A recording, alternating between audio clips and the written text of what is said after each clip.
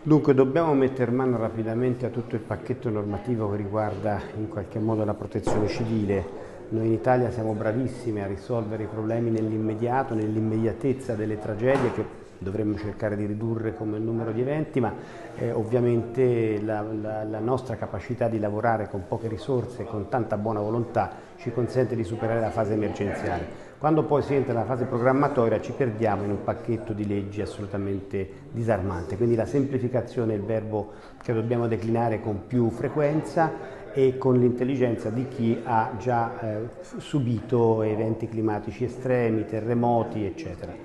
L'altro punto molto importante sul quale dobbiamo dibattere rapidamente è quello del nuovo assetto del sistema province, Revaste, Regioni, Stato perché c'è un po' di confusione, ci sono deleghe trasversali non definite, ci sono soprattutto lavori molto difficoltosi da parte delle, del residuo delle province in pendenza di una riforma, riforma del Rio che non è giunta a termine ma non sappiamo nemmeno quale ne sarà il punto di caduta, quindi dobbiamo come ANCI proporre qualcosa che dal punto di vista dei comuni sia accettabile.